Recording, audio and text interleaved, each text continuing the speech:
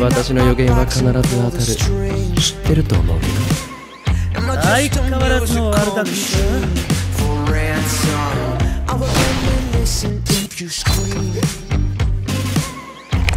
ここからが大人の時間だ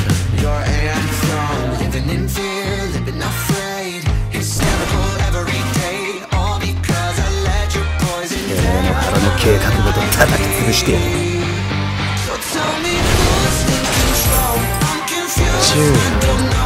君が私の計画を阻止冗談だ。ろ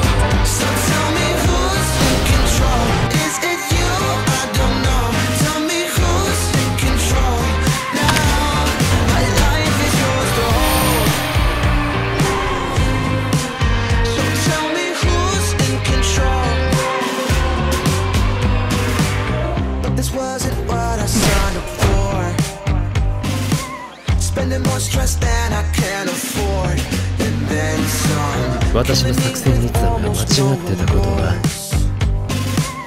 Feeling better when I just ignore your presence. Living in fear, living afraid. It's struggle every day, all because I let your poison この状況まで計算してやがった